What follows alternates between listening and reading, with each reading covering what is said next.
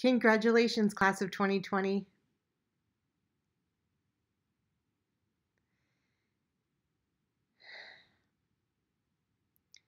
You are resilient, you are persistent, and I wish you the best of luck. Congratulations, class of 2020.